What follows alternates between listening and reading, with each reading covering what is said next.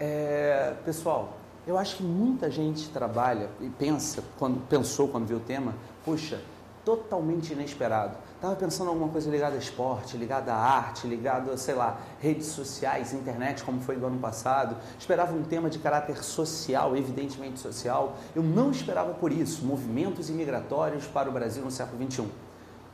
Cuidado, gente. Eu sei que no primeiro momento a gente tende a achar que o tema está fora daquilo que a gente viu, fora daquilo que foi trabalhado. Mas se você parar para pensar bem, e aí vem um pouquinho da discordância em relação ao lado inesperado do tema, talvez a chamada para o tema, falando especificamente de movimentos migratórios, pudesse ser algo não pensado por vocês.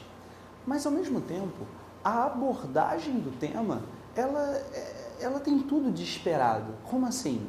Ora, se a gente está falando em movimentos imigratórios, se a gente está falando de pessoas que saem de suas, seus, seus países, suas pátrias, suas nações de origem e vêm para o Brasil, de alguma forma essa movimentação mostra que o Brasil é um polo de atração, enquanto onde eles vivem provavelmente é um polo de repulsão. Às vezes uma repulsão evidente, às vezes nem tanto.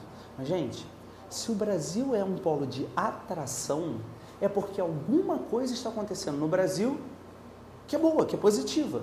Ao mesmo tempo, se o local onde eles estão é um polo de repulsão, é claro que lá está acontecendo alguma coisa que é negativa. Ou se não é negativa, é pior do que a situação que a gente está vendo aqui.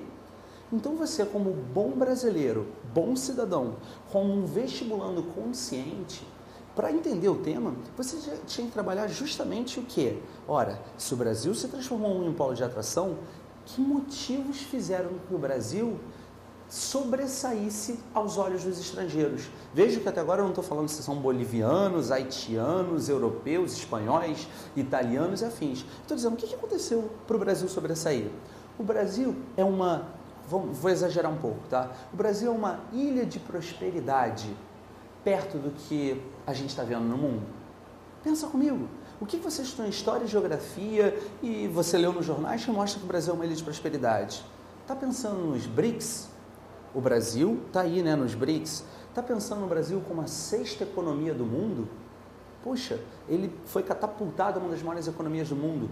A gente está falando da ascensão da classe média, ou, desculpa, das as classes menos abastadas, tornando-se, passando a fazer parte da classe média. 57 milhões de pessoas agora entraram na classe média. A gente está falando do Brasil com uma projeção internacional ao ponto de ele é, é, é, conseguir sediar grandes eventos mundiais, algo que há 20 anos era impensável, como a Copa do Mundo e as Olimpíadas.